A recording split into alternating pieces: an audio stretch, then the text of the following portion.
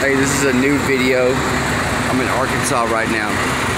Okay, that's my new truck right there. I've been hacked, right?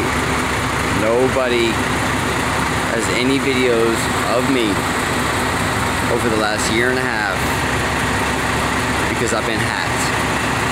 G-Static, crowdsource, whatever you want to call it. I'm here at a truck stop.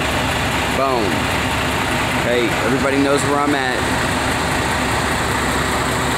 Except for the world. But that's my truck. Here I am. Anybody online that has any video that, that's claiming to be me is not me.